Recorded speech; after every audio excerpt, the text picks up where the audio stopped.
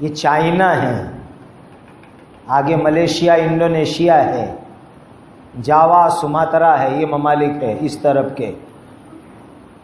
وہاں اسلام کیسے آیا؟ ہے ہمارے ملکوں میں تو محمد بن قاسم تشریف لائے۔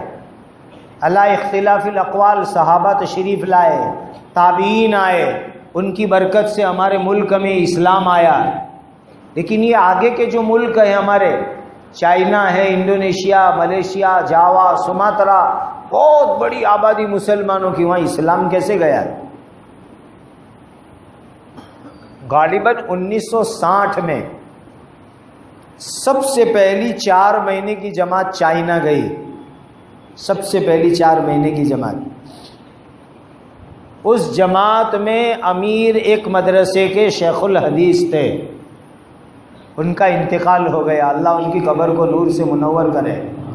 انہوں نے چار مہینے سے آنے کے بعد اپنی کارگزاری لکھی ہے۔ میں نے دو مرتبہ وہ کارگزاری پڑھی۔ فرماتے ہیں وہ اپنی کارگزاری میں کہ ہماری جماعت چائنا گئی۔ مرکز کے ذمہ داروں نے ہماری جماعت میں انجینئروں کو جوڑا، ڈاکٹروں کو جوڑا، انگریزی شاندار بولنے والوں کو جوڑا تاکہ انگریزی زبان سے کام چلے اس لیے کہ چینی زبان ہم کو آتی نہیں۔ کیسے بات کریں گے؟ کیسے کام کریں گے؟ وہ کارگزاری پڑھنے کے قابل ہے۔ عجیب کارگزاری۔ حضرت شیخ الحدیث مولانا محمد حنیف صاحب ملی مالیگاوی رحمۃ اللہ علیہ نے لکھی ہے۔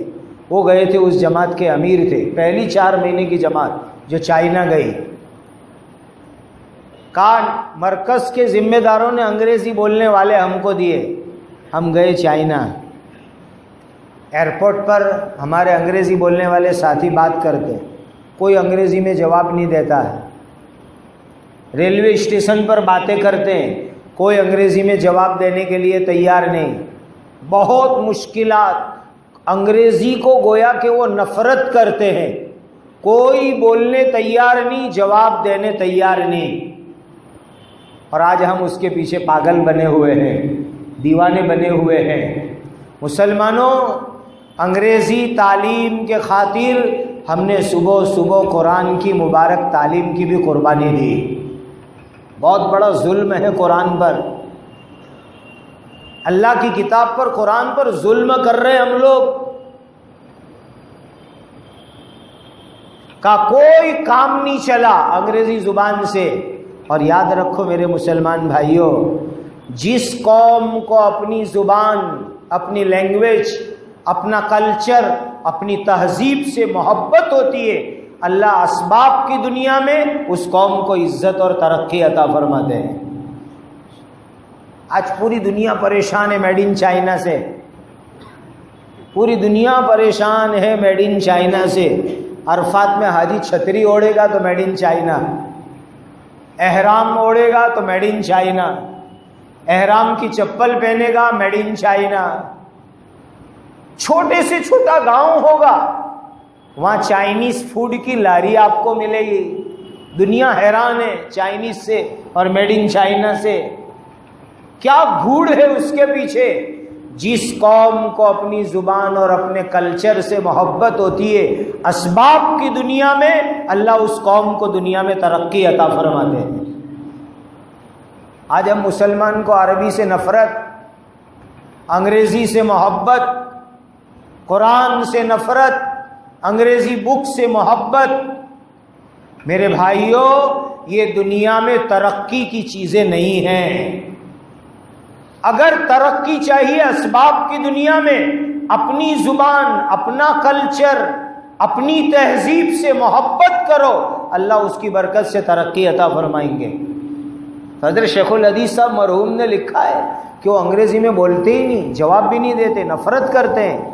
ہمارے دل پہ اثر کر گیا کہ چائنا جو اتنی ترقی پر ہے، وہ اپنی چائنیز زبان سے محبت اور اس کلچر سے محبت کی وجہ سے۔ کام کیسے چلا؟ تو کہ مولانا صاحب عربی میں بیان کرتے تھے اور چین کے علماء عربی سے چائنیز میں ترجمہ کرتے تھے۔